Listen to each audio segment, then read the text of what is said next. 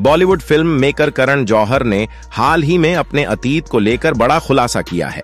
एक साक्षात्कार के दौरान उन्होंने अपने संघर्षों के बारे में बात की। इसके साथ ही अपने एक बड़े राज्य से पर्दा उठाते हुए उन्होंने कहा कि कैसे उन्होंने लंबे समय तक एक लड़की से प्यार का नाटक करना पड़ा। करण को करना पड़ा था प्यार का नाटक। उन्होंने कहा, मैंने दसवीं क्लास में एक लड़की से प्यार होने का नाटक किया था। उसका नाम शलाका था। फ़िल्म निर्माता ने आगे कहा, आज जिसे आप आ गया कहते हैं, अपमानजनक लहजे में कहा जाता है, उन दिनों इसे कहा जाता था और यह एक ऐसा शब्द था जिसने सचमुच मुझे अंधेरे में धकेल दिया था।